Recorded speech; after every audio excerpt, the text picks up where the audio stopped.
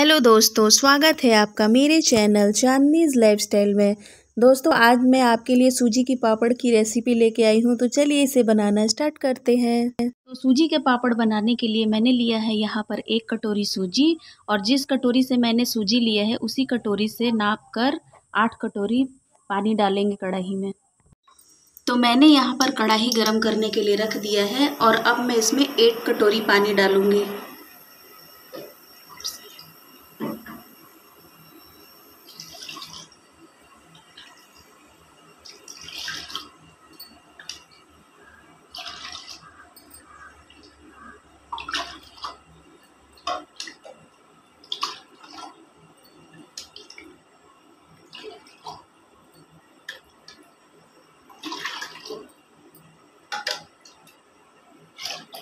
तो मैंने आठ कटोरी पानी डाल दिया है इसमें। अब मैं इसमें थोड़ा सा तेल डालूँगी। दो तीन बूंद के करीब। अब मैं इसमें नमक डालूँगी। नमक थोड़ा कम ही डालेंगे, पापड़ में नमक थोड़ा कम ही होता है। अब मैं इसमें फ्लेवर के लिए जीरा डालूँगी। अब मैं इसमें सूजी डालूँगी। अब अब इसे अच्छे से मिक्स करेंगे, लगातार चलाते रहेंगे, नहीं तो ये चिपक जाएगा। इस तरीके से हम इसे पंद्रह मिनट तक कंटिन्यू चलाएँगे। फ्रेंड्स आप देख सकते हैं, लगभग सात से आठ मिनट हो चुके हैं मुझे इसे पकाते हुए। अब इसमें उबाल आने लगा है तो बस अब दो तीन मिनट इसे हम और पकाएँगे। तो दोस्तों, अब ये बिल्कुल रेडी है पापड़ बनने के लिए तो हम गैस बंद कर देते हैं और इसे पाँच मिनट के लिए ऐसे ही छोड़ देंगे, फिर हम इसका पापड़ बनाएँगे। तो दोस्तों, मैंने यहाँ पे एक प्लास्टिक सीट ले लिया है। इसके ऊपर मैं पापड़ बनाऊँगी। इसे मैंने ऑयल से ग्रीस नहीं किया है। इसके ऊपर मैं डायरेक्ट ही पापड़ बनाऊँगी।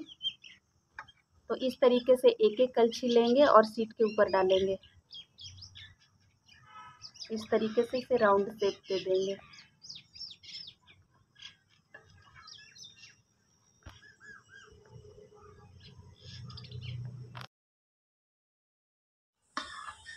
इस तरीके से हम पापड़ों को बना लेंगे।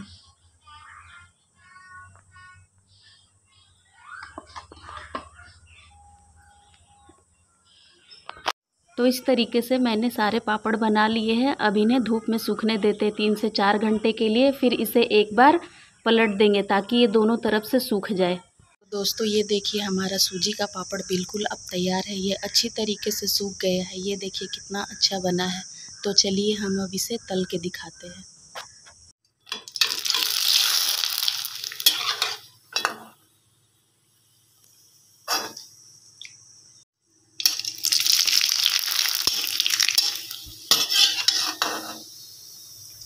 दोस्तों, ये है पापड़ हमारा। देखिए कितना क्रिस्पी बना है।